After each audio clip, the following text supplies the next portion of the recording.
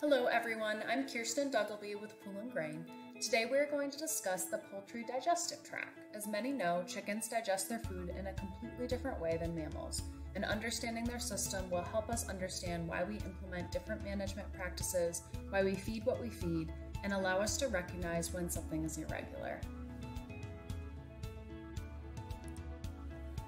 The beak is where the process begins. There are no teeth or jaw muscles. Saliva is secreted at the roof of the beak through the salivary glands, which moisten and lubricate the food. Remember that chickens do not chew their food like a human would. Instead, they swallow it whole. Chickens do have around 300 taste buds compared to humans that have around 2,000, but they're located towards the back of the beak, so they've already committed to eating their food at that point and don't really have the luxury of picking or choosing their meal based on taste testing. Instead, they're more visually oriented and are attracted to the color, size, and shape of their food. The tongue, which is covered in barbs, brushes the food towards the laryngeal mound, which helps move the food back to the esophagus. The esophagus is made up of four different layers the mucosal, the submucosal, muscle tunic, and serosal. The mucosal layer is lined with tissue which contains mucus glands, hence the name, which aid in carrying the food toward the crop, which is triggered by the enteric nervous system, the brain of the GI tract. The crop acts as a bin or a pouch for the food, which expands and can hold up to 1.5 ounces of matter. That's just under the weight of a golf ball. Within the crop, very little digestion occurs. Feed will combine with water and some good bacteria to soften the food particles before moving through the system.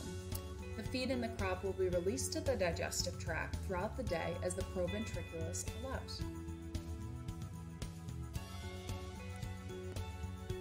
The proventriculus, which is similar to the human stomach, combines stomach acid along with pepsin, a digestive enzyme, to start the breakdown of feed into smaller pieces but it quickly passes through this and moves to the gizzard.